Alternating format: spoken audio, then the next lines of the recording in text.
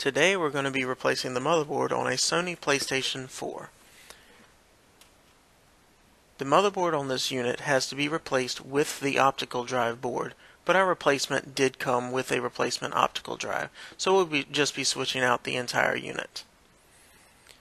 To get started, we will need to remove the four T9 inverted Torx or security Torx screws on the rear of the system two underneath the warranty stickers, one on the top and one on bottom, and one on each end underneath the other stickers. This one has had the warranty stickers removed as someone else has previously attempted a repair. The T9 security Torx bit tool is actually a standard Torx bit with a hole in the center of it as you can see in the picture here. That small hole is what makes it a security Torx bit. And we're going to use this to disassemble all these screws, or take all these screws out.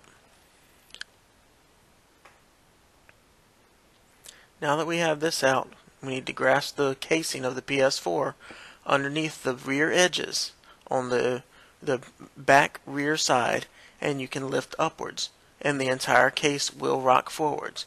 It may take a little bit of a little bit of time to do so, but for the most part, it should be fairly simple to get it off.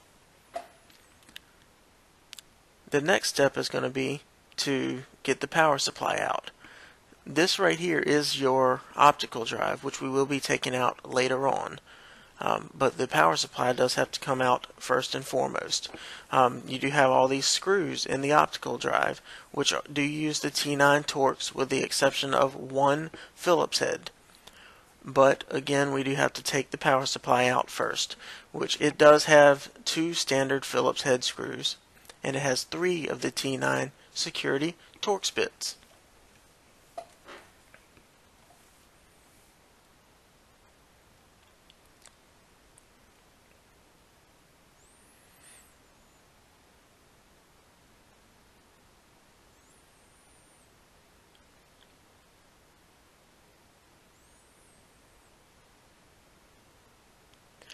Once you do get all of these screws loosened, then you can grasp each side of the power supply. Um, at this point, you may want to put an anti-static wristband on in order to, to prevent damaging any of the electronic components. And be cautious when you do grasp the side of the power supply because you do have a cable that will need to be disconnected. So do not pull too hard when you do this.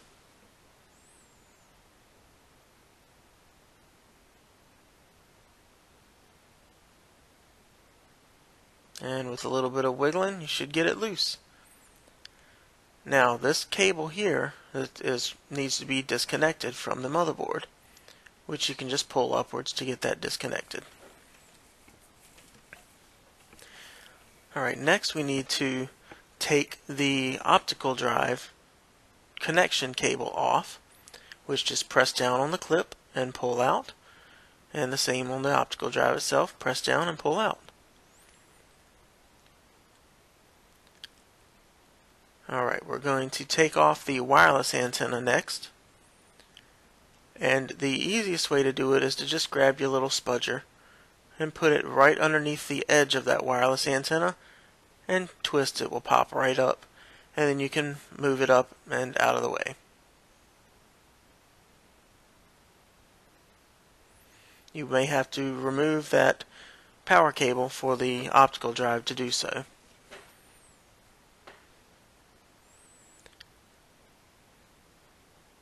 Alright, now what we're going to do is we're going to flip the unit over in order to get to the opposite side. This access panel just slides to the left and then comes off.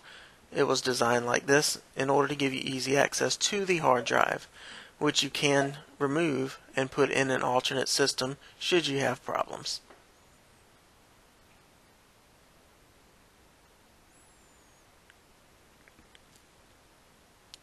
You're now going to use your T9 Torx bit to loosen the two screws on the other cover.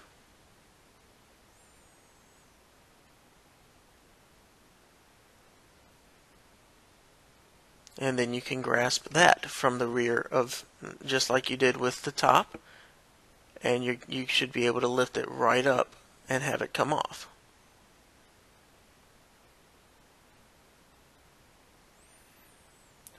Once we get to this point, we're going to need to remove all of the T9 Torx bits or Torx screws in the PlayStation 4.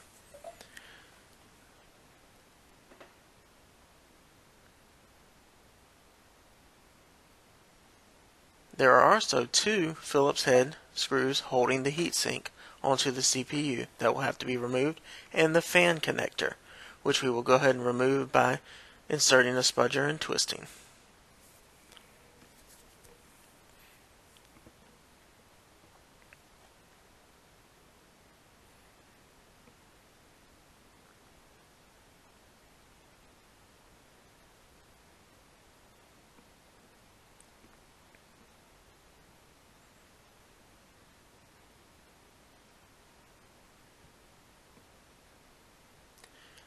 Now when you get ready to remove this, the only thing you need to do is lift upwards on the front and it should come loose and you can set that metal cover out of the way.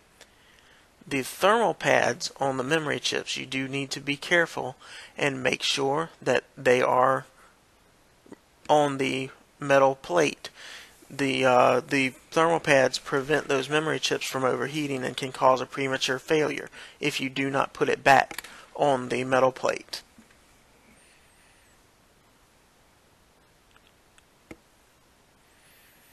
So we're just going to scrape this off of here very lightly.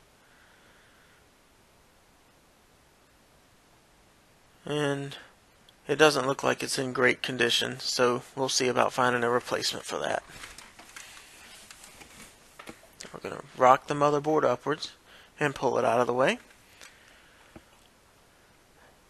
Be sure to check your thermal pads on this side of the, the motherboard as well all of those memory chips do need those thermal pads.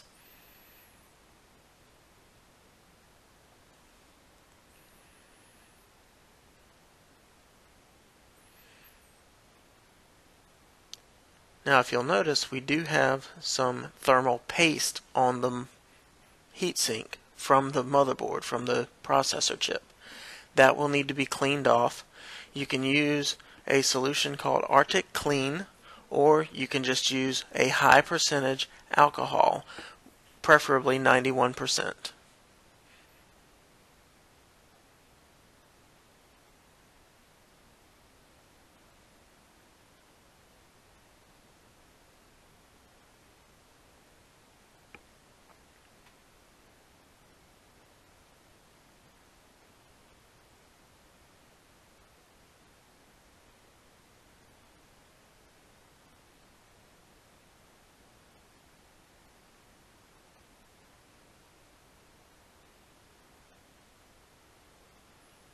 And you just wipe in this direction, clear that all right off.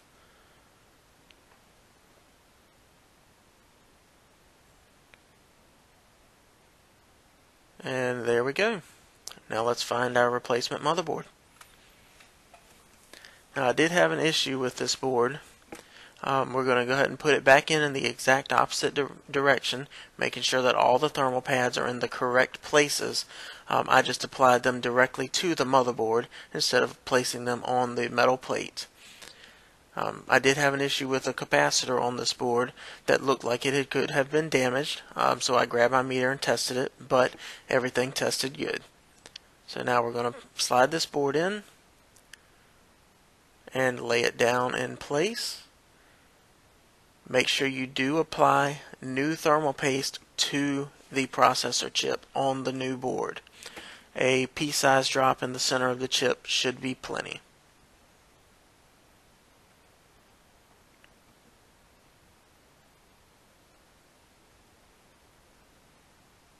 Alrighty, and once we get the board installed securely, we can put the metal plate back on the top.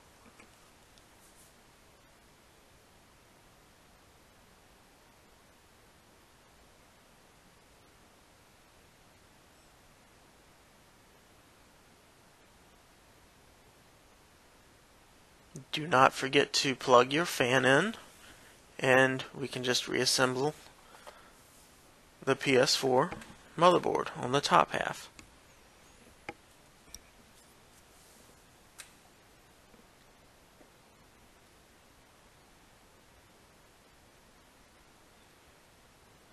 Be sure that you do not put your screws back in the two holes for the top cover.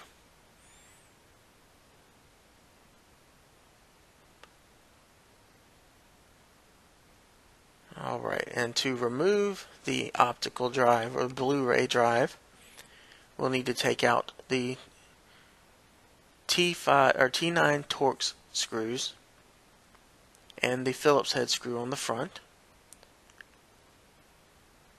And then you can put the new device in and just screw it right on down.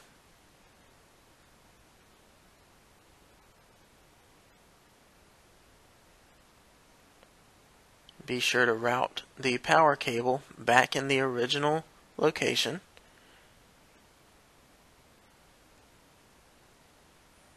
And before you do plug this power connector in, make sure that you run your wireless wire underneath of it.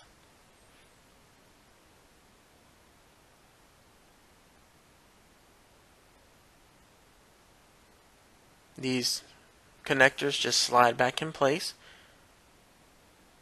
there's, you don't have to push on the connector or anything.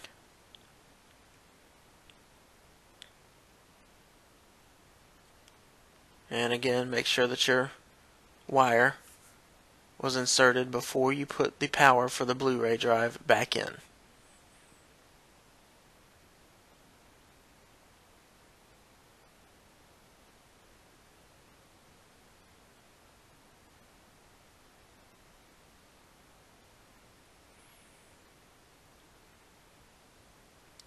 And then we can go and reroute this wire through the original groove and then grab some small pliers to position it and snap it back into place.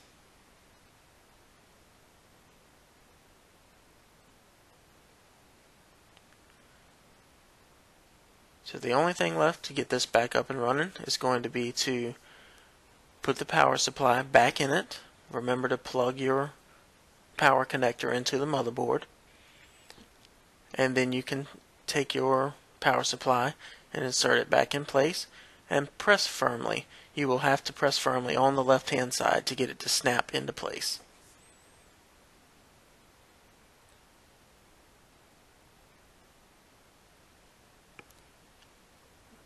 Go ahead and put your screws back in.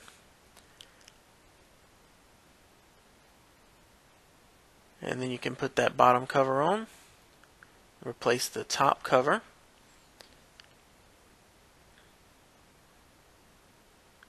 Slide your hard drive back in place and snap the top cover on. At this point you should be all set to go after you put your four screws in. Thank you for watching